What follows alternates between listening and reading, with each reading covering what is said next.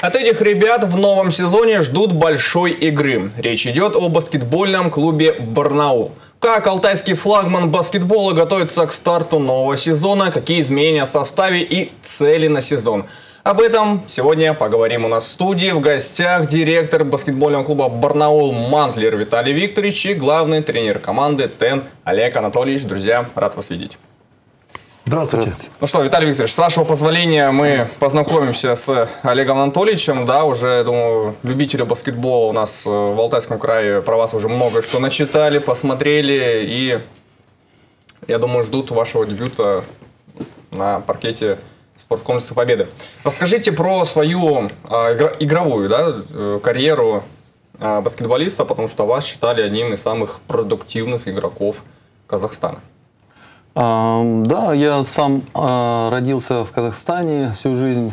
А, все свои юношеские, детские годы прожил в городе Тарас, город Джамбул, ныне называется Тарас. А, баскетбольную карьеру с третьего класса начал, как часто бывает у детей, именно в секции, в школьной секции. Вот, и пошло последовательно до США, сборная города – сборная области, попадание в сборную Казахстана. То есть прошли все ступени, все ступени да, с самого начала? Да, да, все ступени. И получилось так, что 10 класс уже заканчивал в городе Алматы в спортивном интернате. И по окончании интерната поступил а, в Казахстанский, Казахский институт физической культуры. А почему именно баскетбол? То есть, ну, часто бывает, что там просто папа куда-то привел, либо, может быть, кумир у вас какой-то был, или, может быть, выбора не было, и только путь на баскетбол был? А так получилось, все ребята пошли записываться на секцию, и я пошел с ними. И как-то вот так вот осталось. Многие поуходили потом, а я до сих пор. А когда настало время закончить э, карьеру игрока, вы перешли на тренерскую карьеру. Почему не закончили с баскетболом вообще и решили продолжать по тренерской деятельности? Ну, вот как-то нравится мне это дело, и для себя решил, что лучше заниматься тем, что ты любишь, что тебе нравится больше всего делать, и поэтому связал свою жизнь именно с баскетболом. Угу. Ваш первый клуб был Табол, да, именно в роли главного тренера. Да. А каким был первый сезон? А, первый сезон был, э, результаты были очень успешные, так скажем, потому что по ходу э, плей-оффа мы выбили из э, из э, чемпионата команду бессменного лидера, бессменного чемпиона на тот момент, девятикратного подряд чемпиона Казахстана. Мы выбили команду Астаны в полуфинале и вышли в финал. Ну, угу. в финале проиграли, правда. Не хватило немножко нам опыта, мне как тренеру, ребятам игрового, ну, все равно сезон, считаю, был успешным. Но уже много лет прошло с того сезона, да, что бы вы хотели изменить, когда только-только начали быть тренером? Баскетбольного клуба? Ну, много вещей. Если бы, например, сейчас дать эту команду, много вещей бы, конечно, бы поменял. Но, к сожалению, мы не можем управлять такими вещами. Виталий Викторович, давайте наконец-то пообщаемся с вами. Рад видеть вас наконец-то в нашей студии. А вы, как никто другой, знаете, что сейчас творится в баскетбольном клубе «Барнаул», о атмосфере в команде, как настрой на предстоящий сезон и чего нам ждать. Ну, спасибо, во-первых, что пригласили. Хочу сказать э, следующее. Комплектование, формирование состава буквально пару дней назад было завершено. На данный э, момент в команде находится 15 человек. Э, шестеро из них имеют алтайские прописки. Команда молодая, команда бегущая, команда интересная. Каждый по-своему игрок максимально мотивирован. Это то, к чему мы стремились в этом сезоне. А, ввиду своей молодости могут быть, конечно, какие-то ошибки, но в плане мотивации каждый из них находится на пределе своего уровня. Угу. К тренировочному процессу приступили 2 августа.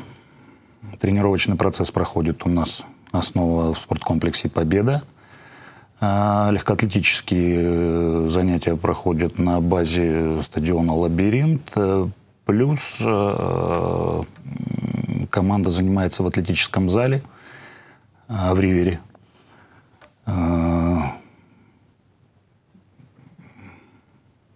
Созрел один вопрос, я вас перебью. Да, давайте. А, ну, если он будет какой-то неправильным, вы мне прям так и скажите. Вот давайте пройдем небольшую параллель. У нас в крае есть одна команда, которая тоже на алтайских воспитанников пытается делать свою игру. Виды спорта разные, да, баскетбол и все остальные, но все же история более-менее похожа. Алтайские воспитанники, молодой состав. И уже на протяжении нескольких лет у команды, ну, так себе результаты, да, будем честно говорить. Не боитесь, что БК Барнаула, возможно, не дай бог, будет подобная ситуация? Нет, мы не боимся. Э, принцип формирования состава, он не заключался в том, что мы будем э, использовать только местных игроков. Мы набрали молодежи, во-первых, со всей страны. Во-вторых, э, есть опытные игроки. И в данном случае прогресс возможен, когда есть определенный симбиоз. Симбиоз молодости, симбиоз опыта, симбиоз местных игроков, которые тоже по-своему талантливы. Э, я думаю, что вот в нашем случае тот путь, которым мы идем, несколько отличается от того, что вы сказали. Угу. Вы сказали, что опытные игроки у нас э, есть в составе. Можно одну-две фамилии, про кого речь, и как Евгений шли с ними Войтюк, переговоры? Евгений Войтюк, у нас Максим Прощенко есть. Э, мы, не смо... Есть Агаси Танаян. Несмотря угу. на то, что они не возрастные игроки, но они имеют большой опыт за своими плечами.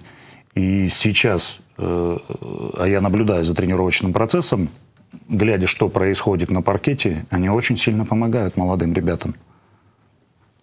Та атмосфера, которая сейчас есть в клубе, мне очень нравится. Я очень доволен. Как произошло подписание Олега Анатольевича, как вышли на него и почему именно этот тренер? А вы считаете, Какими это критерии? этично рассказывать, насколько он хорош в его присутствии? Олег Анатольевич, давайте ушки заткнем. Ладно, давайте это просто как прошло Большой специалист. За этим специалистом он наблюдал не один год. А, на тот момент, э, еще три года, два года назад, э, у него было железное место работы, оттуда забрать его было невозможно. А, ситуация изменилась в этом году а, Контракт с главным тренером, который был у нас Барнаул, он закончился. Мы не понимали, идет тренер на повышение, не идет тренер на повышение. Нужно было понять, э, в каком направлении нам двигаться. Ну, естественно, я начал изучать, мониторить ситуацию именно по тренерскому э, составу, который есть в России, кого можно было бы пригласить. Тен, естественно, был в приоритете. Переговоры были тяжелые это все было не просто так, потому что первые разговоры у нас были в мае, и только в середине июля мы смогли э, с Олегом Анатольевичем и его агентом договориться. Я считаю, что э, это была вот первая точка, которую я могу назвать прям несомненным успехом. Олег Анатольевич, с вашей стороны, как проходили переговоры, как отреагировали, когда Барнаул на вас вышел?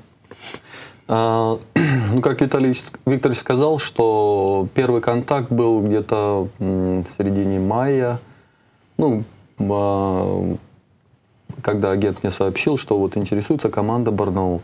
На тот момент э, я находился в расположении клуба Саратовского автодорожника, и поэтому о будущем еще не мог, э, как бы, будущем не располагал, потому что не завершил еще свою работу в клубе «Автодор». Вот, и мы с тренерским штабом ждали, что будет дальше. Угу. Ждали решения от руководства. И параллельно вели переговоры с, э, с командой Барнаул. Вот, ну и все, вот, все решилось где-то в середине июля. Угу когда уже все договорились. И когда вы только познакомились с командой, э, первая тренировка, первое знакомство, что увидели в парнях и что планируете перестраивать по схеме, и нужно ли вообще что-то перестраивать? А, ну, хотелось бы вообще отдельно сказать, что команда особенная. Команда особенная, даже потому, что это первый э, год работы мой осознанный, как ос, когда главным тренером. Угу. Уже только поэтому эта команда для меня лично особенная. Ну, особенная еще не только потому, а потому, что ребята очень, знаете, как, э, как неограненные алмазы. А, очень много талантливых ребят, очень молодые и талантливые. И при должной работе, если придать хорошую огранку, они должны засверкать. И они Не удивлюсь, если через несколько лет кто-то из этих ребят проявит себя в лиге ВТБ, в Евролиге. Все возможно при должной работе. И поэтому ребята талантливые, жаждущие э, побед, голодные до побед. И очень приятно работать в такой обстановке. А по составу вы уже хотели еще кого-то подписать или, в принципе, тем наличием игроков, игроков, которые есть сейчас, уже довольны? Или, может быть, на какую-то а, позицию вы хотели бы закрыть еще? Нет, мы уже закончили комплектование практически на 99%. 1% э, оставляем. Все может случиться в жизни. Да, поэтому, ну а так фактически комплектование закончилось, уже идет полномерная работа. Виталий Викторович, прошлый сезон у команды был очень симпатичен, да, вот такой мощный дебют, как болельщик говорю, было очень приятно. Но все же вот про кухню можно узнать у вас пару слов. А бюджет команды, какой он был, хватило ли его в прошлом сезоне и что с бюджетом на предстоящий сезон?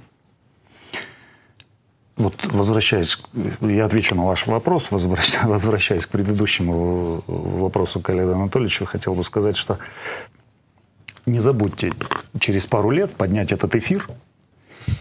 И, и, и, и мы с вами посмотрим, я приду сюда и буду рассказывать, что вот эти вот ребята начинали у нас, а теперь посмотрите, где они. Давайте вот зафиксируемся в этой точке и сделаем это. А, что касается э, кухни, кухни, хорошее название. А, прошлый сезон, а, он был непростой. Да, это был тяжелый сезон. И в финансовом плане э, из сезона мы вышли без долгов. Что касается этого сезона, мы живем и будем развиваться в тех деньгах, которые у нас есть. Тот бюджет, который согласован, из рамок мы выходить не планируем. То, как получится, ну, посмотрим, наверное, посмотрим весной, где, где, где, э, где кто и как. Отсутствие министра спорта повлияло как-то на новый Нет, сезон? нет, об этом можно даже не говорить. Нет, на нас это абсолютно не отразилось никоим образом. Даже сейчас те вопросы, которые экстренно какие-то возникают, э, все оперативно решается. По мере возможности, конечно, uh-huh. но все решается.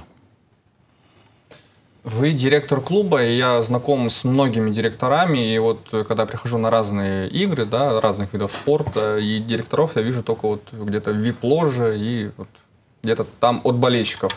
Когда я прихожу на игры БК Барнаула, я вижу вас э, на трибунах вместе с болельщиками, в перерыве вы с ними общаетесь. Почему, вот, почему вы так, а другие по-другому? Почему так близко с болельщиками? Я не знаю, как правильно, я не знаю, у кого как это происходит. У меня это так происходит. Э, во-первых, нужно сказать, что болельщик, который есть у нас в Барнауле, и я считаю, что это самый умный баскетбольный болельщик, самый понимающий, самый чувствующий нашу игру. Второй момент. Те люди, которые приходят к нам на баскетбол, ну, я две трети как минимум знаю лично. Я, естественно, людей, которых знаю, я с ними здороваюсь, я с ними общаюсь, они могут задавать мне вопросы. У половины из этих людей есть мой номер телефона, и у них, когда есть какие-то вопросы, они могут мне позвонить и спросить. Мало того, из этого общения всегда можно что-то почерпнуть для себя новое. Всегда можно вычленить те вещи, которые ты своим глазом не видишь, но тебе на них указывают. И uh-huh. э, есть адекватные вещи, есть другие вещи. Э, ну, естественно, мы дифференцируем эти моменты и понимаем, э, что да, вот здесь вот у нас есть ошибочки, которые можно исправить.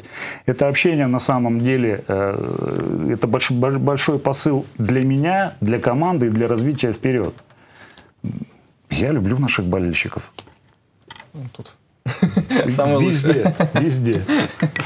Олег Анатольевич, лично для себя перед этим сезоном какие ставите цели? Хотелось бы, чтобы команда прогрессировала от игры к игре, чтобы ребята добавляли э, в качестве. Это как главного тренера моя основная задача. Я считаю, если мы выполним постепенно и последовательно эти задачи угу. по улучшению качества игры игроков, Тогда и в целом игра будет хорошая. Хочется, чтобы игра была красивая. Не, не, будем забывать про зрителей, про очень благодарных и барнаульских болельщиков.